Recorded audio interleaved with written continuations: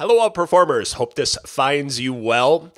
As you can probably tell, I have been off from the podcast for quite some time, and I'm not going to make excuses about it, but this happened about a week and a half ago. I was at my son's football practice, and one of the other dads of a player came over to me. Todd, if you're listening to this, yes, this is a shout out to you. He comes over to me. I haven't seen him in a while because our, our kids have been playing different sports, but he comes over to me, and the first thing he says to me is, You haven't updated your podcast in a while. it's like, come on, man. Seriously, I haven't seen you in a while. It's a beautiful night. just trying to soak up a football practice here, watch my son, and that's what you're going to say to me? But quite honestly, I always say a couple of things about the people that you should surround yourself with. First and foremost, they should love and support you unconditionally. But the other part of it is that they should tell you not just what you want to hear, but sometimes what you need to hear. And again, I'm not going to make any excuses about not updating the podcast recently. It just, quite honestly, wasn't a priority for me. My speaking schedule is really busy. Um, obviously, I had a honeymoon thrown in there and some travel and whatnot, but I will make this commitment to you. Partially because Todd told me not what I wanted to hear, but what I needed to hear that every Monday from here on out until the end of the year, I will be releasing a new podcast episode. I will not be bringing on any guests. These will simply be snippets from some of the keynotes and some of the workshops that I've been delivering recently here in 2023, or it'll be a separate recording on some of the distinctions and some of the things I've been studying around leadership, around goal achievement, around peak performance, around sales, and just around overall personal and professional growth. So I hope you enjoy those. Between now and the end of the year, that will mean you will have 15 brand new different podcast episodes that you will be able to listen to. Again, they will be released every Monday. And as far as what you're going to get with this episode is this is from a keynote that I did right here in Denver for PMI Mile High, where I'm talking about the aspect of realistic versus unrealistic goals. And I firmly believe that not only is any goal realistic with an intelligent plan to accomplish it, I think that also, whether it's you telling yourself this, or you telling a son or a daughter, or a team member, or a friend, or anybody else, telling someone to be realistic is telling them to be self limiting. So you're going to hear me share a story about how I got on on a stage with PMI Mile High that has been graced by Daymond John. You probably know him from Shark Tank. Aron Ralston. You probably know him from the movie 128 Hours, played by James Franco.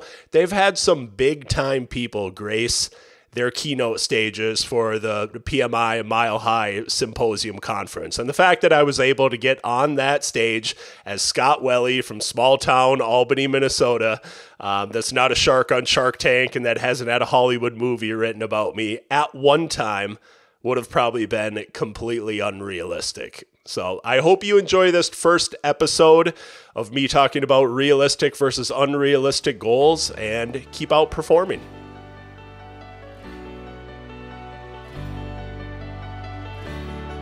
Welcome to the Outperform Podcast. My name is Scott Welle. I'm an author, speaker, and the founder of Outperform the Norm, a global movement that helps people achieve peak performance in their personal and professional lives.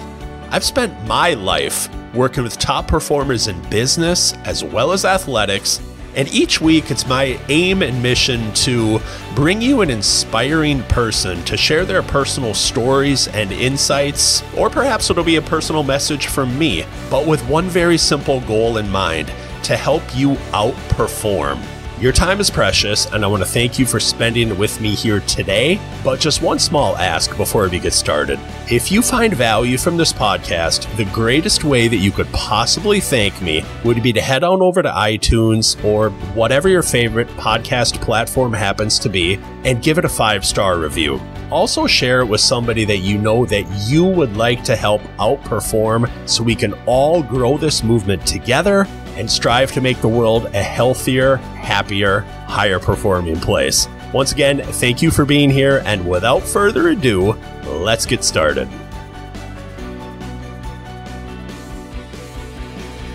So let me ask you a question Who determines whether a goal is realistic or unrealistic? Yeah, I see some of you going like this, right? It's not right there. You do, right? You determine whether a goal is realistic or unrealistic. And I guarantee as you sit here late on a Friday afternoon, you've accomplished, you've achieved many things in your personal, professional, athletic life or otherwise that probably at the time were completely unrealistic. And you know what? You went out, you did it anyway. You didn't really think about it, you just rolled up your sleeves, you just made it happen. And if you can indulge me, I'll give you an example from my own life. I remember this. It was 11 months ago. It was basically exactly 11 months ago. I still remember this. I was sitting on my couch. I still have a condo in Minnesota, even though I spend most of my time now uh, down in Lone Tree, Colorado, actually. I'm getting married in two weeks, by the way. So, um, can I get a yes? Thank you. I mean, better late than never, right? Like, she still has two weeks to reconsider uh, what, what she's doing. But anyway, I st- about 11 months ago, I still have a condo back in Minneapolis.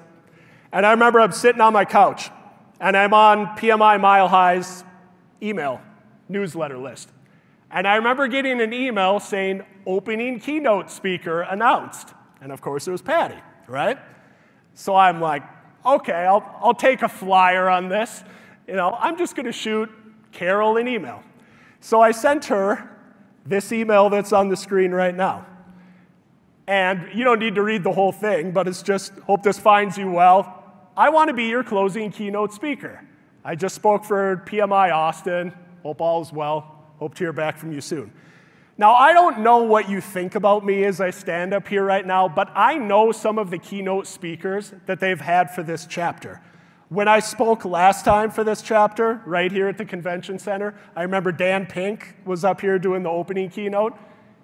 Yeah, I'm not him. I'm really not. Daymond John, uh, you're not going to see me as a shark on Shark Tank anytime soon. Aron Ralston, like James Franco's not going to be playing me in a movie. So you could very easily look at me sending this email out to Carol and, like, whatever, I'm just going to give this a shot. Sent an email to her, and God bless her heart, she got back to me and she's like, Well, I love meeting, you know, energetic speakers. Let's set up a time to talk. And it's sort of like that part in Dumb and Dumber where I'm like, oh, so you're telling me there's a chance, you know, even if it's one in a million, right? And we had a couple of fantastic conversations after that, and lo and behold, I'm here and I'm speaking to you right now. And I've been fortunate to speak for, I think it's 34 different PMI chapters. Um, I've been speaking for about six or seven years. Yes, I actually was painfully shy growing up. That is all true and real. But I also know that, like, a lot of times we can get in our head so much when we're at the beginning kind of precipice of thinking about our goals and we check and we stop when we say, well, that's not realistic for me to do this, or not realistic for me to go after that. And it would have been so easy for me on my couch in Minnesota after getting that email to not just send that email out to Carol and at least give it a shot. It would have been so easy for me to just say, I'm not Dan Pink. I didn't start FUBU and I'm not a shark. I don't have James Franco playing me in a movie. Like, and to not even take action on it.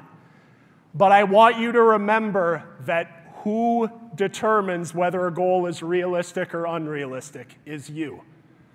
And for most people, whether it's you, whether it's a team member, whether it's a son or daughter, or whether it's anybody else, telling them to be realistic is telling them to be self limiting.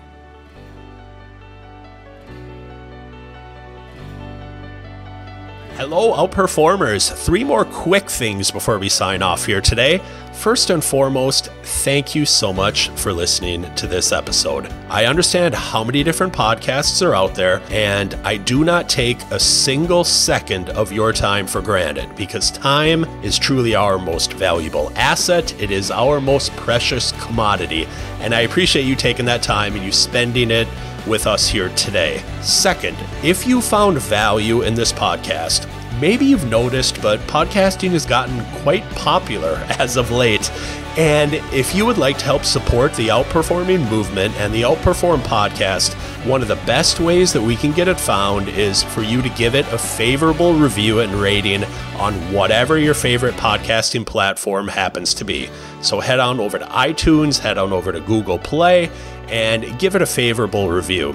And while you do that, also share it with someone else that you know that is just like you, is driven by growth and wanting to be the best personally and professionally in every single thing that they do. Number three, if you want even more tools and tips and strategies to be able to be your best personally and professionally, head on over to scottwelle.com. That's S C O T T W E L L E. There are loads of different resources for you on everything from goal setting and grit to resiliency and focus, to confidence and motivation and routines and habits and everything that you can possibly imagine to help you be your absolute best every single day, personally and professionally. Once again, if you'd like to access those free resources, head on over to scottwelle.com, S C O T T W E L L E. So, as I sign off, thank you again for spending your time with me here today. Keep outperforming, and as always, wish you the best of health, happiness, and high performance. Have a great day.